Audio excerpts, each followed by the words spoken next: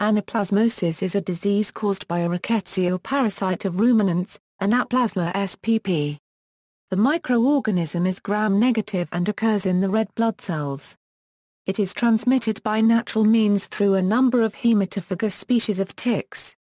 Anaplasmosis can also be transmitted iatrogenically by the use of surgical, dehorning, castration, and tattoo instruments and hypodermic needles that are not disinfected between uses. Although the term is often associated with animal infection, it is also used to describe infection in humans. Distribution In the United States, anaplasmosis is notably present in the south and west where the tick hosts Ixodes spp are found. It is also a seemingly increasing antibody in humans in Europe. Although vaccines have been developed, none are currently available in the United States. Early in the 20th century, this disease was considered one of major economic consequence in the western United States.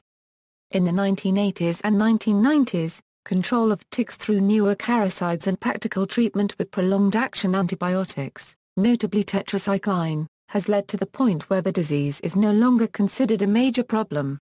Cases of co-infection with tick-borne microorganisms are being increasingly reported in the last decade, perhaps explaining the variable manifestations and clinical responses noted in some patients with tick-transmitted diseases.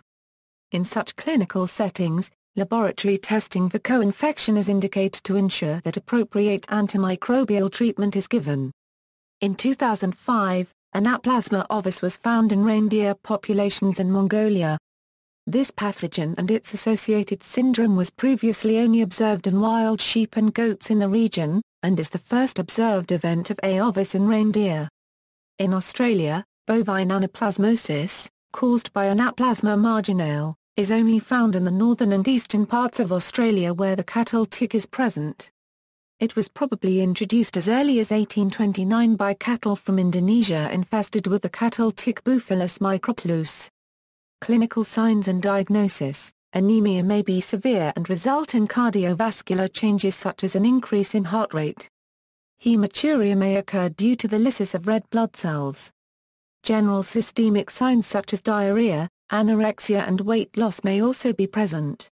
A blood smear stained with Giemsa should be observed for identification of infected red blood cells and will allow definitive diagnosis.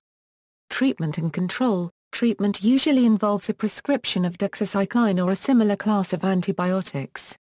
Oxytetracycline and imidacloprid have also been shown to be effective. Supportive therapy such as blood products and fluids may be necessary. Vaccines against anaplasmosis are available. Carrier animals should be eliminated from flocks. Tick control may also be useful although it can be difficult to implement.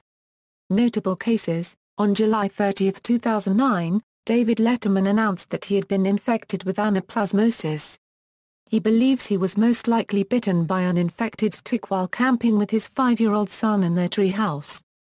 References External links CFIA Animal Disease Information, Anaplasmosis Fact Sheet, Biosecurity Training Video, Farm Level Biosecurity Practices.